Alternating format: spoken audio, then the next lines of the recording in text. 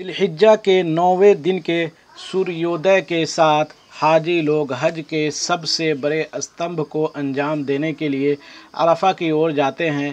یہ ان مہان اور گواہی والے دنوں میں سے ایک ہے جن کی قسم اللہ سرو شکتیمان نے اس کی مہانتا اچ استھتی اور سمان کے کارن کھائی تھی۔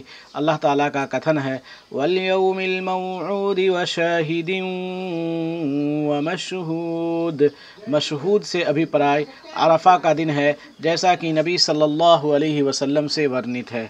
اس دن کو ان دنوں پر اس کارن سے بھی وریتا پراپت ہے کہ اسی دن اللہ نے آدم علیہ السلام کی سنتان سے وعدہ لیا تھا۔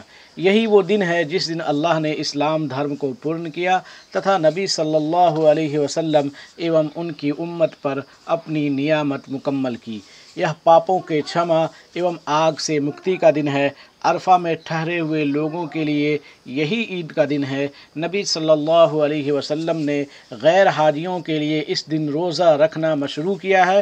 تتھا فرمایا، عرفہ کے روزہ کے بارے میں اللہ سے میرا گمان ہے کہ وہ اس کے دوارا اگلے ایوم پچھلے ایک ورش کے پاپوں کو چھما کر دے گا۔ اس حدیث کو مسلم نے روایت کیا ہے۔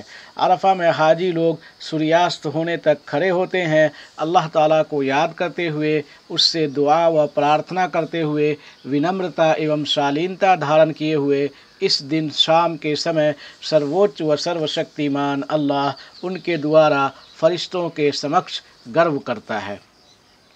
نبی صلی اللہ علیہ وسلم نے فرمایا سروتم دعا عرفہ کے دن کی دعا ہے، تتھا سروتم بات جو میں نے ایوم مجھ سے پورو کے نبیوں نے کہی ہے، یہ کہنا ہے، لا الہ الا اللہ وحدہ لا شریک لہ لہ الملک و الحمد وہو علی کل شیء قدیر۔